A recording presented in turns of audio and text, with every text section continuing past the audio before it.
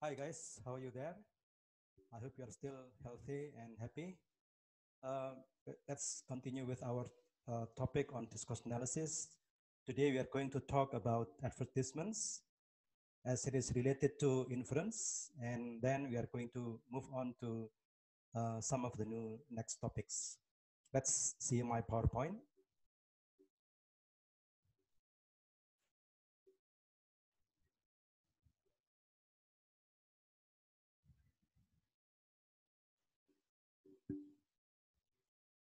Okay, so uh, this is the topic for today.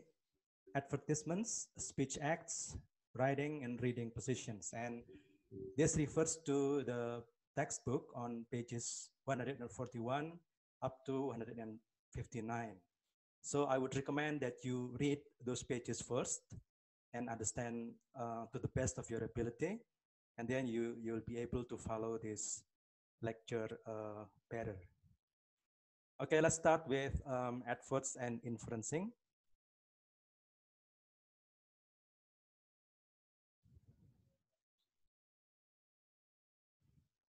Let's start with adverts and inferencing. Um, so the effectiveness of an advertisement actually depends on its power to make the audience infer the desired message.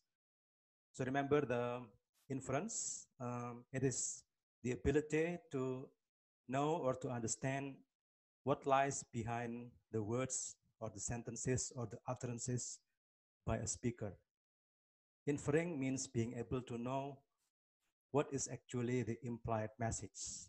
Now that works very well with advertisement. If you are able to infer properly, then the advertisement um, works effectively.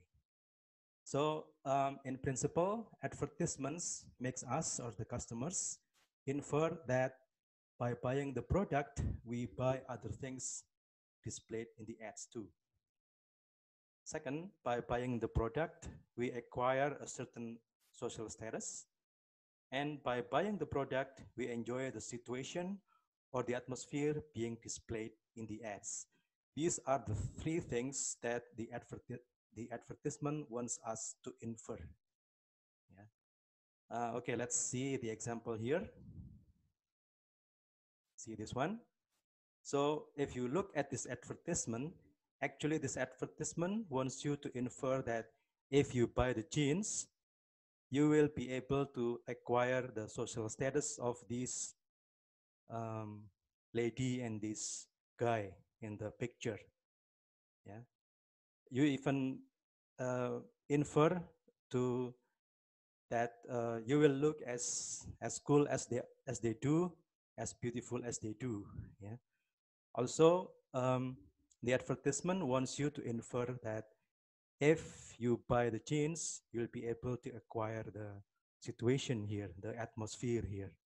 Somehow you will feel the same atmosphere if you um, um, buy the products. And that's the inference, the power of inference. Okay. Um, let's go to the next one. we are going to skip this. Now the next one is um, chapter five, actually.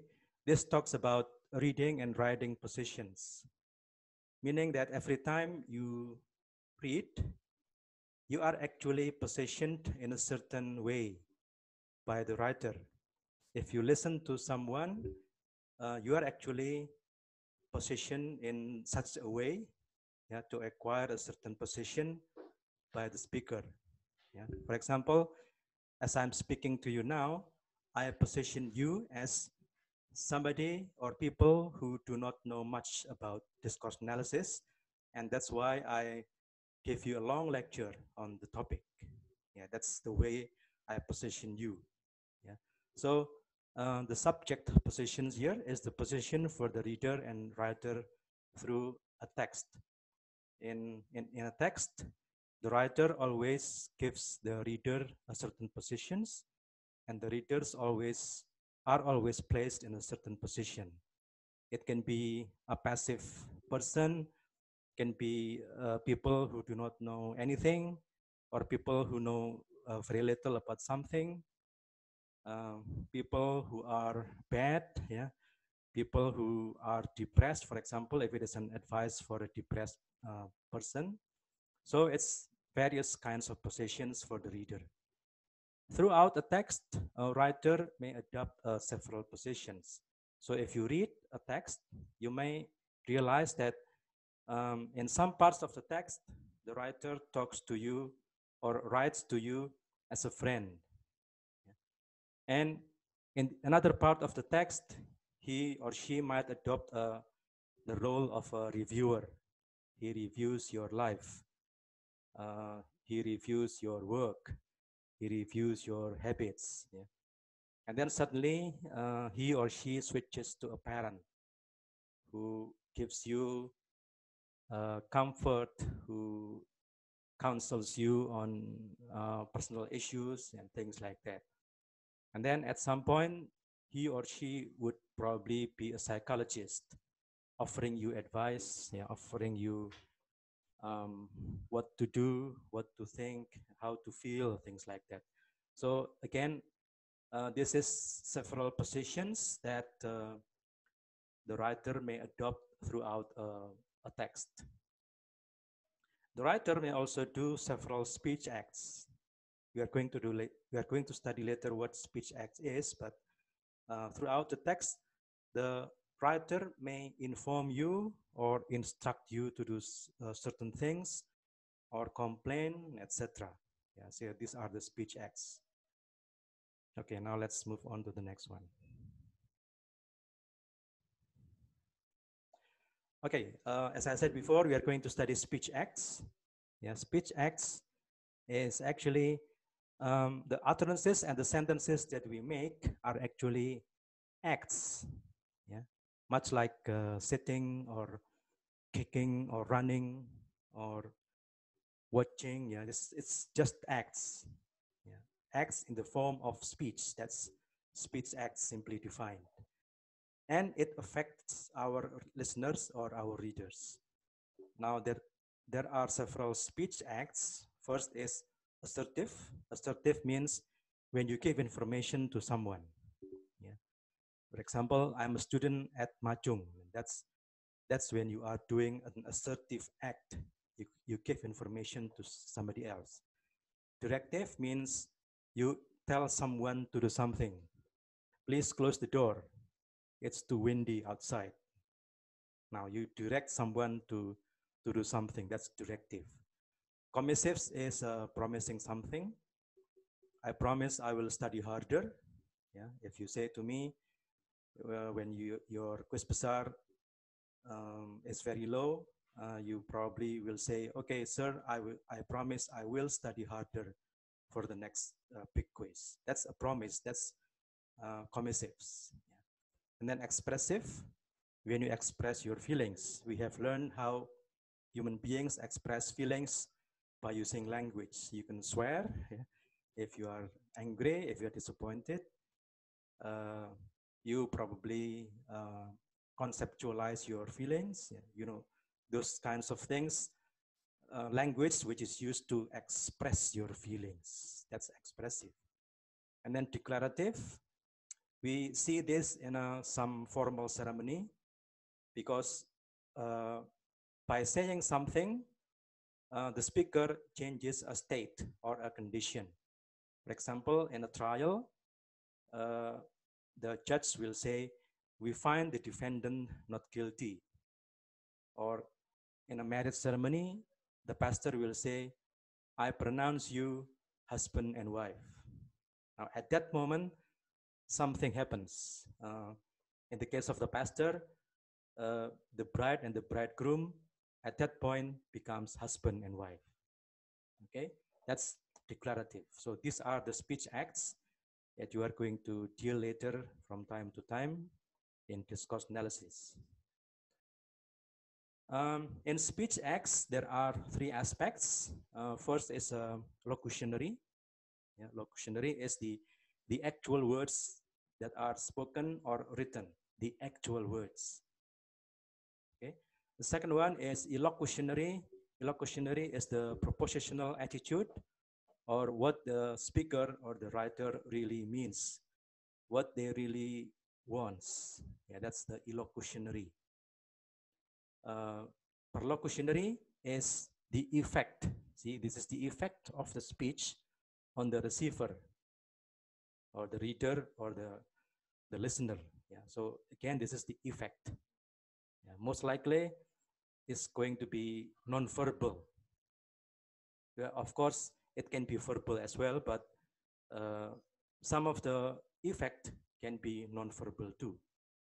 For example, let's say uh, this example, father says to the son, mobilnya sudah kotor. Again, this is the the locutionary is this sentence, this sentence, mobilnya sudah kotor. That's the actual words uh, being spoken or written. Yeah. Illocutionary, what does the father uh, mean to say? Yeah. The father wants his son to wash the car. That's the illocutionary of this uh, speaker. Yeah. By saying mobilnya sudah kotor, actually the father intends to tell his son to wash the uh, the car because it's already dirty. Yeah. And then the perlocutionary is the son gets up from uh, his seat and then washes the car. Uh, this is the perlocutionary. This is the effect of this utterance on his behavior. Yeah. On uh, hearing the father's utterance, uh, the son uh, understands the illocutionary um, act of the father. He knows that his father wants him to wash the car, and so she, he gets up and washes the car. That's perlocutionary. Okay, so these are three speech acts aspects.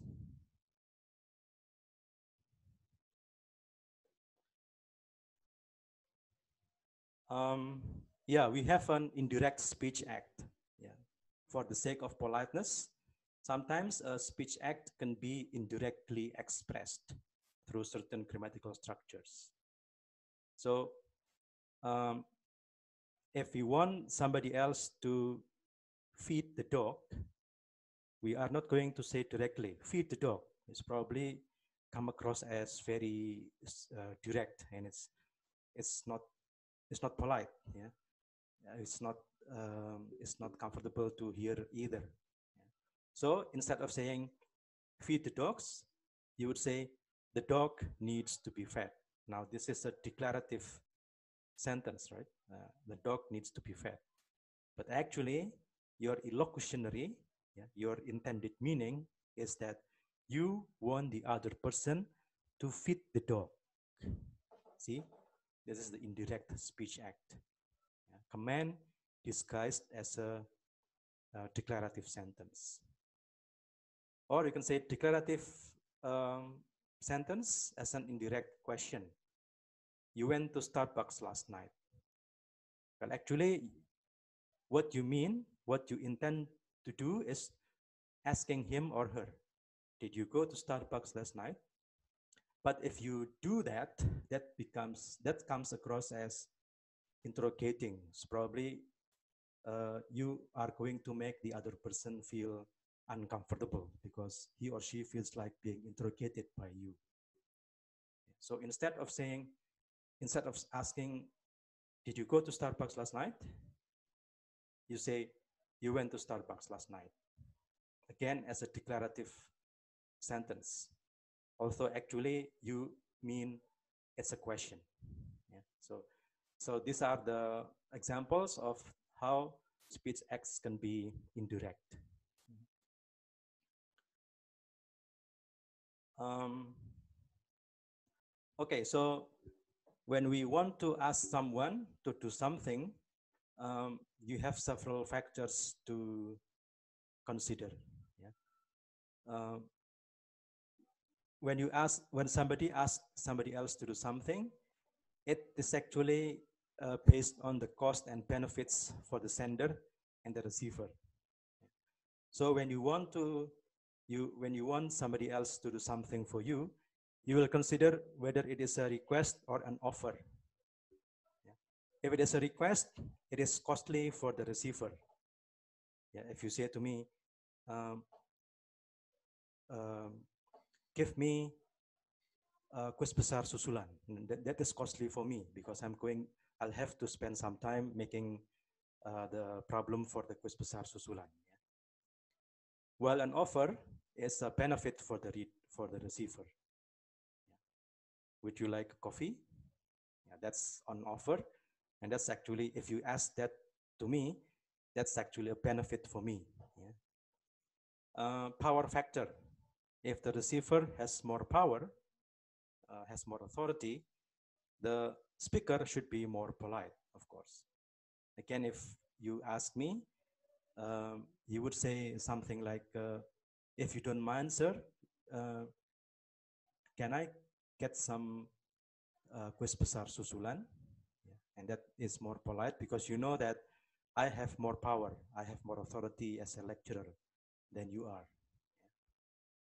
And then, okay, medium degree of contact, forget this, it's not very important, but uh, the very, the, uh, the first two are important when you want to uh, ask someone to do something.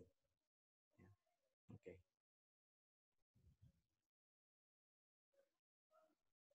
Okay, we have uh, another one. Uh, it's called Leech's Maxims for Politeness. So there is a, an expert uh, whose name is Leach, and he proposed uh, maxims for politeness. Uh, he thinks that in every human interaction, there is a certain degree of politeness involved because we are human beings. We don't want to come across as rude or impolite. So we want to make our sentence, make our utterance as polite as possible. So you have tact. Tact is uh, indirectness or optionality. Indirectness means that you phrase your request uh, indirectly. And optionality is when you ask someone to do something, you give options to them. The option can be yes, they yes they want to help you, or no, they don't want to help you. So there there is always that choice given to uh, the person you are asking, the person you are directing to do something. You can see the visual on page 152 and study it yourself. And then the next one is approbation. Approbation means that we say that the, the receiver, yeah, the, the reader or the listener is better, is smarter, is wiser, has more knowledge, etc. Yeah. For example, we can say in a letter that uh, uh, kami paham uh, Bapak adalah pakar di bidang ini, things like that. Yeah, that's approbation. Modesty. Modesty means that uh, we say we, we acknowledge that we are of a lesser quality. We we are still learning. We are not expert yet. Yeah, we, we don't know much about the issue. Yeah. In a letter, it could be expressed by saying, uh, kami masih perlu belajar banyak tentang hal ini dari lembaga Bapak. Things like that. That's, that's a reflection of modesty. Agreement. Uh, sometimes we, even when we disagree with someone, we uh, always attempt to express our agreement. Although it's not fully a full agreement, but also, but just a partial agreement. Yeah. For example, we can say, kami setuju bahwa uh, mahasiswa harus belajar secara uh, secara uh, online misalnya, yeah, things like that.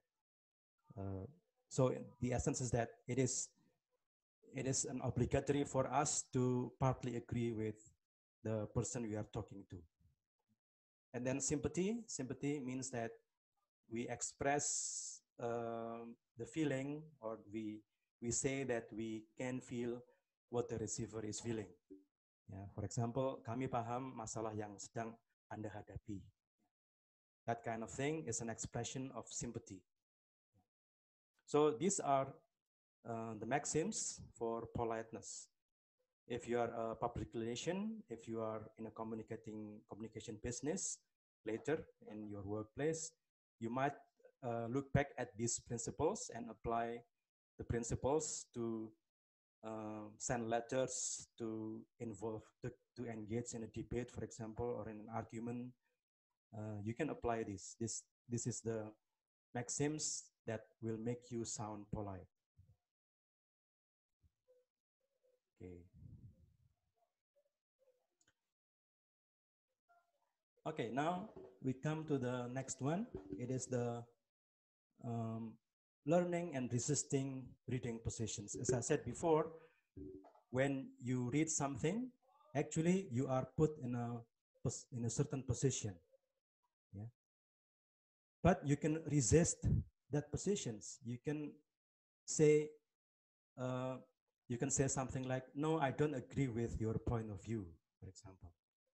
You can say that to the writer or to the speaker. In other words, you are resisting the reading positions. You are refusing the reading positions given by the speaker or the writer. Yeah. Uh, so, for example, if you read this kind of text, yeah, you can read it yourself. I'll give, I'm giving you a certain um, a few moments to read.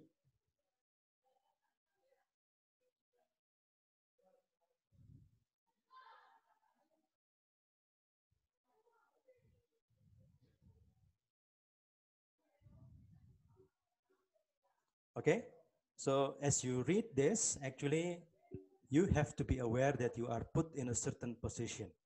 Yeah, you are put in a in a in a in a position of somebody who uh, likes K-pop so much, yeah? and you know that uh, this essay is a criticism against K-pop.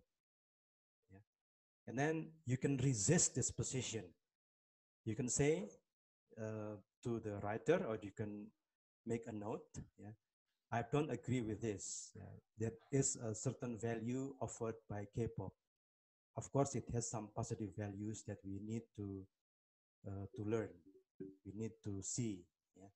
You can resist that positions, and that's what is meant by learning and resisting reading positions. Okay. Yeah, uh, you know, annotate. Annotate is uh, you write down in a margin, you uh, make a scribble on the margin of whatever you are reading, and then you annotate it. Your annotation, your writing or your scribble on the margin reflects how you react to the text, how you resist the content of the text. Yeah. For example, um, while you are reading a certain essay, you would uh, scribble on the margin. I don't agree with this, things like that. Yeah. Or you can uh, write another script, another note. Yes, this is good. Yeah. And then if you read, you read along and then you find another part which you disagree, and then you would write, uh, I don't quite agree with this. Yeah. This is outrageous, things like that. So by doing that, actually, you are practicing the resisting of uh, reading positions. You, you resist the reading positions, you think critically, and then you put your comments on the margin. And that's what is meant by annotating. Of course, uh, my whole lecture here makes sense if you have read the pages in the textbook.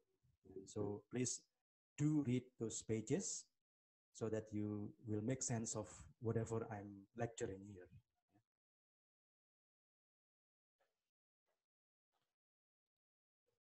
Okay, we skip this. Okay, that's that will be for the next lecture. Okay, so guys, um, that's the uh, the topics for today. Uh, you have learned.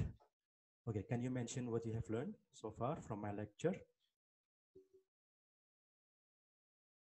Yeah, you have learned uh, advertisements and inference, right? Advertisements and inference. Realize that advertisements always makes you infer something. Yeah? And then you have you have also have learned uh, reading and writing positions. Every time you read something, every time you listen to something, you are being placed in a certain position by the sender That's the reading positions. And then speech acts. It's actually whatever you do with language actually is uh, comprises an act. And we have learned several types of speech acts. We have learned the locutionary, the illocutionary, and the perlocutionary aspects of speech act. Yeah.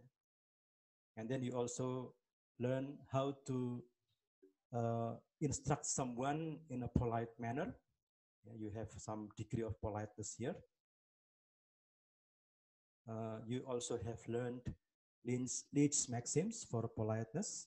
So the principles that you need to apply whenever you want to request something politely, when you want to direct somebody's behavior politely, when you want to debate somebody's uh, point of view politely, when you want to express disagreement politely, uh, these are the areas with, in which you can apply Leech's maxims. And then uh, we also, finally, you have learned that you can always resist the reading positions given to you by the writer. You can put it in annotation. Annotations means writing a note on the margin of the text. Or if you are listening, you can write a note uh, on your gadget or on a piece of paper, which essentially means, essentially contains your own argument about the content being discussed. That's uh, resisting the, the positions. Okay. Okay, that would be all. Um, guys, I hope that you have understood uh, that lecture. It's a bit long, uh, packed with uh, concepts, but I believe that if you read the textbook, uh, understand it well, and follow uh, my lecture, uh, you will be you will understand it things uh, clearly and better. Okay. Stay healthy, stay safe, and goodbye for now.